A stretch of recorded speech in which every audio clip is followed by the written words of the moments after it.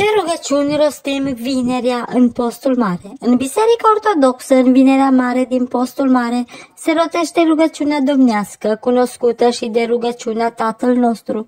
Aceasta este rostită în timpul slujbei, de la ceasul al nouălea, care are loc înainte de prohodul Domnului.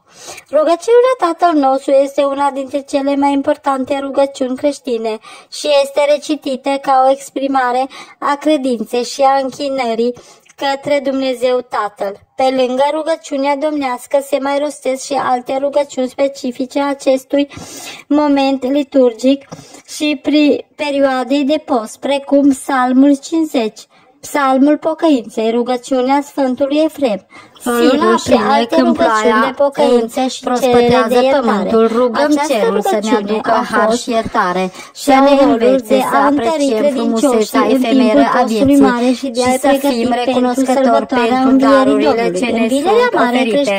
În fiecare seară, sub cerul înstelat al primăverii, înălțăm gândurile noastre către universa rugătoare pentru vindecare și înțelepciune și pentru călăuzire pe care lucrările ce fost răstignit Iisus Hristos și este recitată în mod tradițional în această zi importantă din săptămâna patimilor.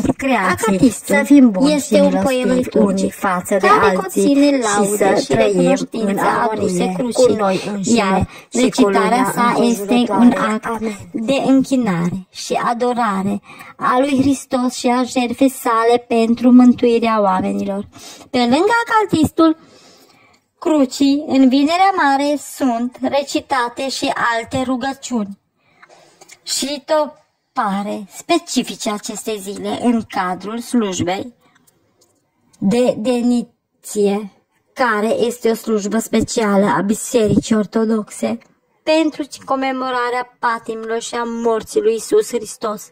Iată ce ne spune rugăciunea domnească, rugăciunea Tatăl nostru.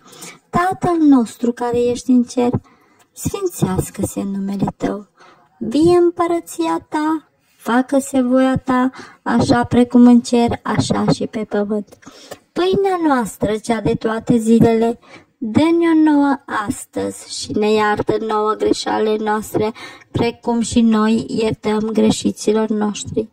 Și nu ne duce pre noi în ispită și ne izbăvește de cel rău ca ta este împărăția și mărirea și puterea în numele Tatălui, al Fiului și al Sfântului Duh. Amin. Doamne, ajută pe toată lumea, pe toată lumea să poată să treacă cu bine peste toate greutățile vieții. Doamne, dă putere tuturor să poată rosti această rugăciune domnească tot timpul și oricând. Tatăl nostru